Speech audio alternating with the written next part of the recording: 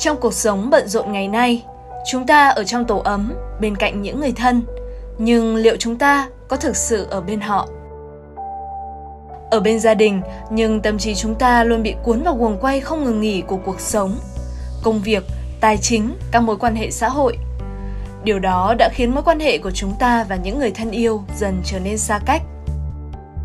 Cho đến khi bạn chợt nhận ra rằng đã vô tình bỏ quên những yêu thương nhỏ nhặt như cái ôm nhẹ nhàng mỗi sáng, nụ cười trầm ấm của ông bà vui đùa cùng con cháu, hay đơn giản là một mâm cơm sum vầy.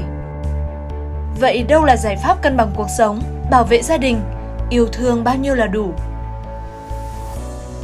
Đồng thấu hiểu và trân trọng những tình cảm từ khách hàng, Cbank và Prudential mong muốn được đồng hành, cùng nhau lan tỏa niềm yêu thương đến với mỗi gia đình – Chúng tôi mong muốn dành tặng tới quý khách hàng những món quà từ trái tim đến trái tim để gắn kết và trao chọn những khoảnh khắc yêu thương.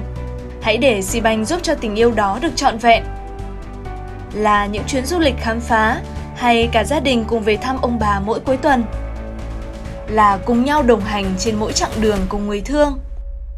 Là cùng con vận động nâng cao sức khỏe là đồng lòng chuẩn bị hành trang cho tương lai để phát triển tiềm năng con trẻ với Genetica.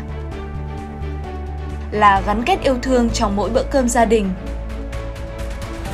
Gửi gắm chọn tình yêu thương tới trái tim khách hàng với hàng ngàn voucher e-bank gắn kết 4.0. Yêu thương trao đi chính là yêu thương giữ được mãi. Có một nơi để về, đó là nhà. Có những người để yêu thương, đó là gia đình. Có được cả hai, đó là hạnh phúc. Hãy dành tặng nhau những món quà từ trái tim đến trái tim để tình yêu luôn bền vững. Yêu phải tính, còn chần chờ gì nữa mà không tham gia ngay gói bảo hiểm bảo vệ gia đình mình trong chương trình ưu đãi lớn nhất năm, quà tặng từ trái tim của Seabank và Prudential.